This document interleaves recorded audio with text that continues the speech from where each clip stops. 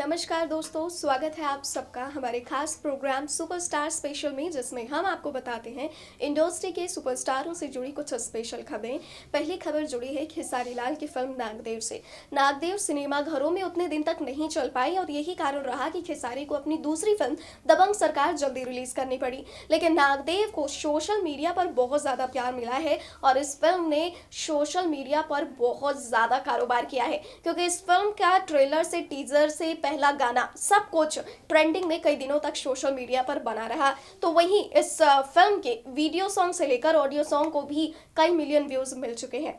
अगली खबर जुड़ी है संचिता बनर्जी से, क्योंकि संचिता बनर्जी ने की है पवन सिंह की खूब सारी तारीफ़, और उन्होंने कहा है कि पवन सिंह रियल में सुपरस्टार हैं। ये मेरा सौभाग्य है कि मुझे पवन सिंह के साथ काम करने का मौका मिला है। सोशल मीडिया पर पवन के साथ अपनी तस्वीर को शेयर करके संचिता ने ये बातें कही हैं।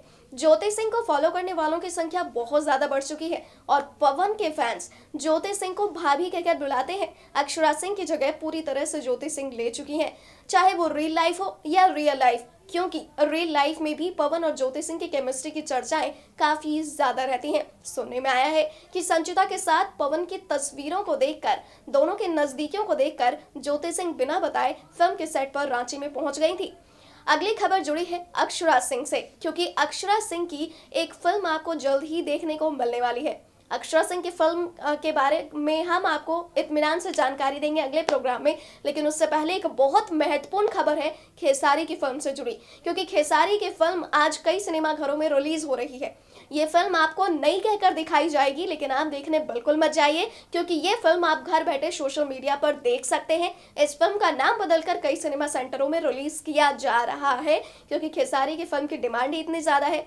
इस कौन से फ़िल्म रिलीज़ हो रही है और कौन से फ़िल्म को आप सोशल मीडिया पर खेसारी की देख सकते हैं, जो काफ़ी सालों पुरानी है, वो जानकारी साथ ही अभी तक जितनी जानकारी हमने आपको दी है, उसे विस्तार से जानने के लिए डालिए एक नज़र। भोजपुरी सिनेमा की ब्लॉकबस्टर फ़िल्म निरहुआ हिंदुस्तानी 2 से खास पहचान बनाने वाली और चर्चाओं में रहने वाली एक्ट्रेस संचिता बनर्जी इन दिनों पवन के साथ अपनी नई नवीली केमिस्ट्री को लेकर चर्चाओं में हैं। जानकारी के लिए बता दें कि इन दिनों संचिता पवन के साथ रांची में अपनी फ़िल्म क्रैक फाइटर की शूटिंग कर रही हैं। इस फ़िल्म के सेट से पवन के साथ संचिता की कई सारी तस्वीरें भी सामने आई। इस फ़िल्म के सेट से आप लोगों ने पवन के कई सारे इंटरव्यू भी देख लिए होंगे। लेकिन संचिता को पवन के साथ काम करने में कैसा लगा, ये बात आप लोग अभी तक नहीं जान पाए होंगे, क्योंकि संचिता ने इस फ़िल्म के सेट से अभी तक कोई इंटरव्यू नहीं दिया है। लेकिन सोशल मीडिया के ज़रिए उन्होंने बता दिया है कि पवन के साथ उन्हें काम करने में बहुत अच्छा लगा है। ये बात संचिता ने खुद सोशल मीडिया अकाउंट से शेयर की है। इस फ़िल्म में संचिता और पवन का रोमांटिक सीन बीते दिन पहले शूट किया गया। हाल ही में पवन सिंह के बारे में संचिता ने सोशल मीडिया अकाउंट पर लिखा है कि ये मेरे लिए बड़े सम्मान और सौभाग्य की बात है कि मुझे पवन के साथ काम करने का मौका मिला है। पवन सिंह सच में सुपरस्टार हैं। वेल, इससे पहले निरहुआ हिंदुस्तानी टू में काम करते समय संचिता बनर्जी ने अपने इंटरव्यू के ज़रिए निरहुआ की खूब तारीफ़ की थी। Next to nine news, Bhojpuriya से ममता की रिपोर्ट। भोजपुरी फ़िल्मों के सुपरस्टार पवन सिंह अपनी फ़िल्मों को लेकर तो हमेशा से चर्चाओं में रहते ही हैं लेकिन पवन सिंह के साथ जो जो हीरोइन अब तक फ़िल्मों में काम कर चुकी हैं, वो हमेशा चर्चाओं में रहती हैं। पवन सिंह की शादी के बाद से पवन सिंह की पत्नी भी ज्योति सिंह। चर्चाओं में क्यों ना रही? आखिरकार इंडस्ट्री के सुपरस्टार का हाथ जो थामा है? शादी के पहले से ही पवन सिंह के साथ ज्योति की चर्चाएँ होने लगी थी। लेकिन शादी के बाद जैसे ही सोशल मीडिया पर ज्योति सिंह एक्टिव हुई, उन्हें फॉलो करने वालों की संख्या भी दिनों दिन बढ़ती गई। और अभी भी बढ़ रही है। सिर्फ़ इतना ही नहीं, जितने बार पवन सिंह की फ़िल्म के सेट पर मीडिया वालों की नज़रें पड़ती हैं, अगर ज्योति सिंह दिख जाए उस दौरान तो वो एक बहुत बड़ी खबर बन जाती है। जानकारी के लिए बता दें कि पवन के फैंस भी ज्योति सिंह को फॉलो करना शुरू कर चुके हैं और ज्योति की हर प्रतिक्रिया पर उन्हें भाभी कहकर बुलाते हैं। जानकारी के लिए बता दें कि ज्योति सिंह क्रैक फाइटर के सेट पर हाल ही में पहुँची थी, जहाँ पवन सिंह के साथ उनकी एक तस्वीर भी शेयर की गई। सबसे पहले ये तस्वीर पवन ने अपने सोशल मीडिया अकाउंट से शेयर की थी। उसके बाद ज्योति सिंह ने भी अपने सोशल मीडिया अकाउंट से शेयर करके लिखा है, with my king. Akshara Singh के साथ पवन सिंह की अब तक जितनी भी तस्वीरें हैं, उन तस्वीरों से ज़्यादा आजकल ज्योति के साथ पवन की केमिस्ट्री और तस्वीरों को पसंद किया जाता है। वेल खबर तो ये भी है कि संचिता के साथ पवन की तस्वीरों में नज़दीकियाँ देखकर ज्योति बिना पवन को बताए सेट पर पहुँच गई थी। Next to nine news Bhojpuriya से ममता की रिपोर्ट भोजपुरी सिनेमा के हीरो खेसारी लाल की फ़िल्मों का इंतज़ार अगर आपको है, आप अपने नजदीकी किसी भी सिनेमा घरों में खेसारी के नए फ़िल्म का बैनर, पोस्टर देख लेते हैं तो आँखें मून कर पहुँच जाते हैं सिनेमा घर में उस फ़िल्म को देखने। लेकिन ऐसा मत कीजिए, क्योंकि आज एक ऐसी पुरानी फ़िल्म रिलीज़ हो रही है जो सोशल मीडिया पर भी मौजूद है। जी हाँ वाराणसी के अलावा कई सिनेमाघरों में खेसारी लाल की सालों पुरानी फ़िल्म रिलीज़ हो रही है, जिसका नाम है माँ कसम। इस फ़िल्म में खेसारी लाल के साथ काजल राघवानी, विराज भट्ट, अवधेश मिश्रा नज़र आएँगे। जाते जाते बता दें कि इस फ़िल्म का असली नाम है इंतकाम, जिसे आप सोशल मीडिया पर इंतकाम के नाम से ही देख सकते हैं। लेकिन इस फ़िल्म का नाम माँ कसम के नाम से सिनेमाघरों में रिलीज़ किया जा रहा है। इसलिए आपको उस फ़िल्म के लिए पैसे खर्च करने की ज़रूरत नहीं, क्योंकि सोशल मीडिया पर आप इस फ़िल्म को घर बैठे भी देख सकते हैं। Next to nine news, Bhojpuriya से ममता की रिपोर्ट।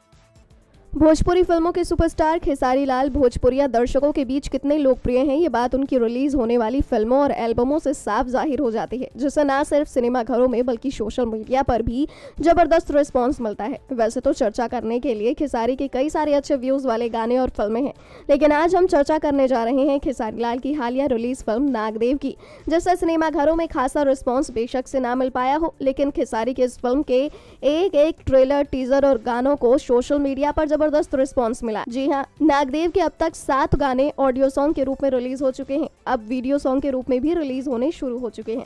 उन सारे गानों पर बहुत कम समय में अच्छे अच्छे व्यूज़ हैं। जानकारी के लिए बता दें कि जब खेसारी लाल के इस फ़िल्म का ट्रेलर सोशल मीडिया पर पहली बार आया तो कई दिनों तक यूट्यूब पर ट्रेंडिंग में बना रहा। अब हम गाने की बात करते हैं। इस फ़िल्म का पहला ऑडियो सॉन्ग रिलीज़ हुआ था देदाना पलंगिया, जिसे 2.5 मिलियन लोगों ने देख लिया। दूसरा गाना था, आजू बाजू हो जिसे 3.5 मिलियन लोगों ने देखा है। तीसरा गाना था, ए हो, ए ओरिया हम सूतम ओ ओरिया तू, जिसे 5.4 मिलियन लोगों ने देख लिया है। अगला गाना, चुम्मा देदा जिसे 1.7 मिलियन लोगों ने सुना। जनिकर तू आनाकानी जिसे 1.9 मिलियन लोगों ने देख लिया है। इसके अलावा, सनम एक दूजे के लिए को आठ लाख छप्पन हज़ार लोगों ने देखा है। आखिरी गाना है, तोहार नाम गैले पाखा जिससे सात लाख सतहत्तर हज़ार लोगों ने देखा है। तो वहीं इनके वीडियो सॉन्ग को भी अच्छे अच्छे व्यूज़ मिल रहे हैं। बीते दिन पहले ए ओरिया हम सुतम का गाना रिलीज़ हुआ है, जिसे 16 घंटे में काफ़ी सारे लोगों ने देख लिया है वीडियो सॉन्ग के रूप में।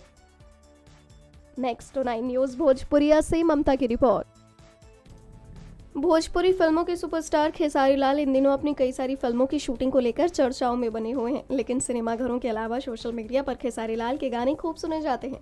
जानकारी के लिए बता दें कि हाल ही में खेसारी लाल की फ़िल्म दबंग सरकार के गानों की डिमांड वीडियो सॉन्ग के रूप में ज़्यादा है और यही कारण है कि उनके हर वीडियो सॉन्ग को सोशल मीडिया पर खूब सारा प्यार मिलता है। सिर्फ़ सोलह से पंद्रह घंटे पहले खेसारी लाल की फ़िल्म दबंग सरकार का एक गाना रिलीज़ हुआ। ए ओरिया हम सुतब ओ ओरिया तू वीडियो सॉन्ग के रूप में, जिसको सिर्फ़ 15 से 16 घंटे में 9 लाख लोगों ने देख लिया है। आकांक्षा अवस्थी को इस गाने में खिसारी लाल मनाने की कोशिश कर रहे हैं। दोनों की ये प्यार भरी नोक झोंक लोगों को बहुत पसंद आ रही है। इस फ़िल्म को और इस फ़िल्म के गानों को लोग सिनेमा घरों में भी देख चुके हैं, लेकिन उसके बावजूद सोशल मीडिया पर इस फ़िल्म के गानों को प्यार और रिस्पॉन्स मिल रहा है। नेक्स्ट नाइन न्यूज़, भोजपुरिया से ममता की रिपोर्ट। बीते दिन पहले इंडस्ट्री की नई नवेली जोड़ी। मृगनय ने अक्षरा सिंह और सुपरस्टार रितेश पांडे मुंबई के मर्ड आइलैंड में एक गाने की शूटिंग करते हुए देखे गए। पूछने पर पता चला कि ये दोनों मिलकर अपनी अपकमिंग फ़िल्म राजा राजकुमार के गाने की शूटिंग कर रहे हैं। बातों ही बातों में इस गाने के हल्के फुल्के बोल भी रितेश ने बता दिए।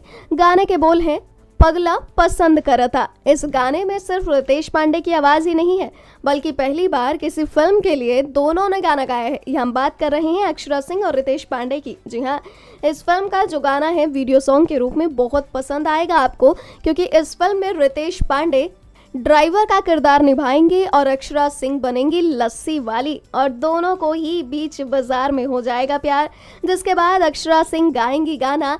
पगला पसंद करा था। इस गाने में सिर्फ़ अक्षरा सिंह की आवाज़ ही नहीं होगी, बल्कि रितेश पांडे की भी होगी। दोनों ने शूटिंग करने के बाद दर्शकों से उम्मीद जताई है कि उन्होंने इस गाने और फ़िल्म के लिए बहुत मेहनत की है, इसलिए दर्शकों को भी पसंद आएगा और ये गाना धमाल मचाएगा। जाते जाते बता दें कि बहुत जल्द फरवरी के महीने में ही रितेश पांडे और अक्षरा सिंह की फ़िल्म राजा राजकुमार रिलीज़ होने वाली है। नेक्स्ट नाइन न्यूज़, भोजपुरिया से ममता की रिपोर्ट। तो आज के सुपरस्टार स्पेशल से जुड़े प्रोग्राम में सिर्फ़ इतना ही। कल फिर होगी मुलाकात ऐसे ही इंडस्ट्री और स्टारों से जुड़ी। सुपरस्टारों से जुड़ी तमाम जानकारियों के साथ। लेकिन तब तक के लिए आप हमें दीजिए इजाज़त। नमस्कार।